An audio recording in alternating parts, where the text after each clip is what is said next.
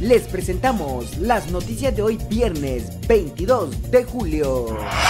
Policías rescatan a recién nacido que estaba abandonado.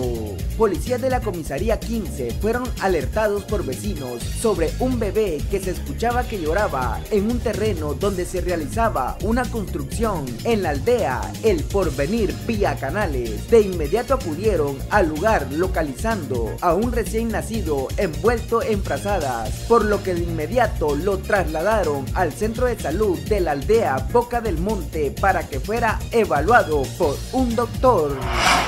Pronóstico del tiempo. Nubosidad dispersa en la mañana y noche. Nublados parciales en la tarde. Se prevén lluvias con actividad eléctrica en la tarde o primeras horas de la noche del sur al centro del país.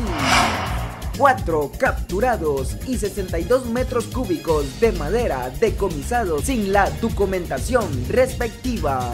Policía de la División de Protección a la Naturaleza, DIPRONA y el Ministerio Público realizan seis allanamientos en Cobán, Alta Verapaz, con el apoyo del INAV como parte del Plan Madre Tierra que busca proteger los recursos naturales y prevenir delitos relacionados al comercio de flora y fauna.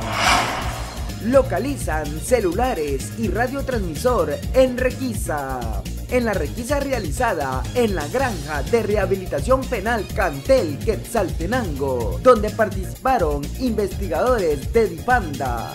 En apoyo al sistema penitenciario, se localizó un radiotransmisor, 24 celulares, 22 cargadores, cables, baterías y un machete advierten de que la salud es un problema central para migrantes en la mexicana ciudad Juárez. La desnutrición, el estrés y la ansiedad son algunos de los problemas de salud que aquejan a los migrantes que llegan a México, por lo que la ciudad Juárez, estado de Chihuahua, fronteriza con Estados Unidos, la UNICEF ha implementado un programa para atender a esa población.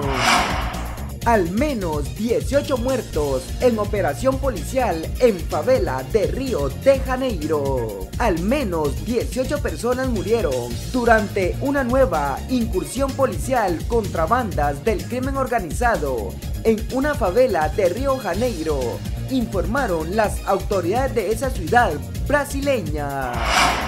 Para más información, visita nuestra página isabalencetv.com informó Tali Cruz para Isabalense TV y Radio Fe Love